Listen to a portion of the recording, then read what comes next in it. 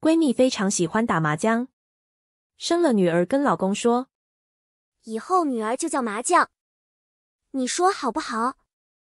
以后女儿会天天说你打她的。闺蜜说，我觉得我越来越白了。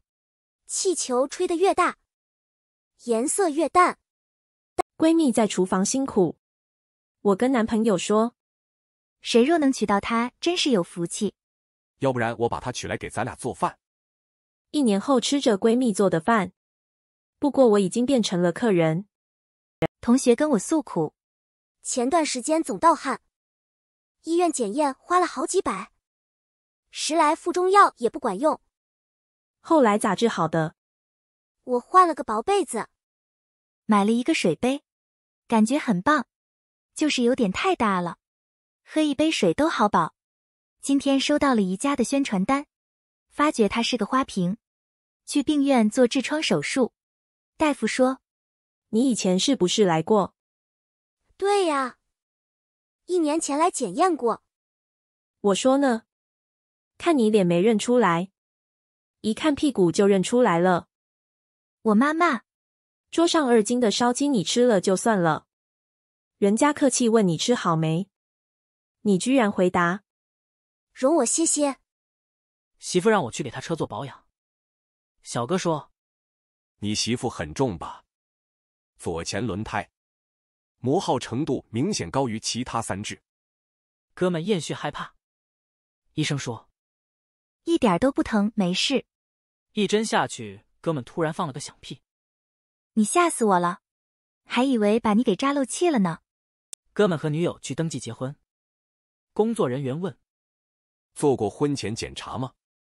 查过了，他房子、车子都全了。我是说去医院。查了，是个男孩，骑电动车突然轮胎破了，看贴墙上的修轮胎号码。打了过去。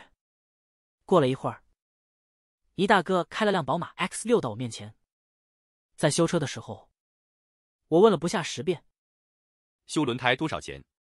向暗恋的女生表白了，他竟然说：“死了这条心。”煎熬了很久，我问他：“为什么新的量词会是条？”老板，我要涨工资。这个可不行。那我要辞职。我们各退一步，我不给你涨工资，你也不要辞职，好不好？好的，谢老板。昨晚参加老乡生日舞会，有个同学抓起蛋糕就往我脸上扣，还好我躲开了。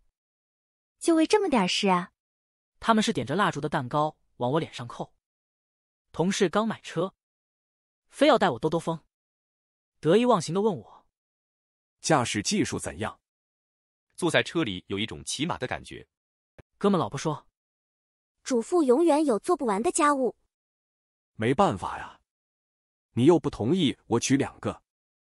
女友年龄比我大，家人死活不同意。我说：“遇到他之前，我一直喜欢男人。爸妈教育我好久，让我俩赶紧结婚。”男友咧着嘴说：“咋看你都像狮子狗。”气得我不理他。躺沙发上，不知不觉睡着了。听见男友妈妈说：“儿子，你咋让狗狗睡沙发上了？还盖你被子？”父亲就总是教导我，千万不能娶潘金莲那样的女人。而今我有些纳闷，在哪里找得到潘金莲那般守妇道的婆娘呢？我发誓一辈子对你好。那你愿意为了我死吗？愿意。你死都不怕发誓有个毛用！